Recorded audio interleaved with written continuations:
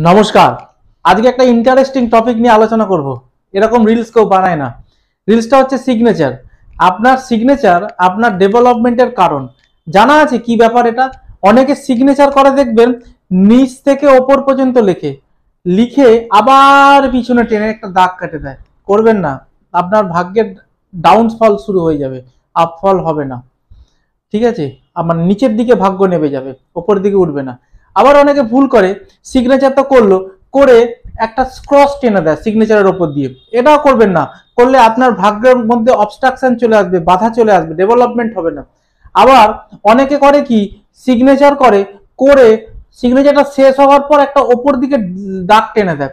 এটা হলো পারফেক্ট সিগনেচারের উদাহরণ। আপনার ভাগ্যের উন্নতি সবসময় উপর দিকে হবে।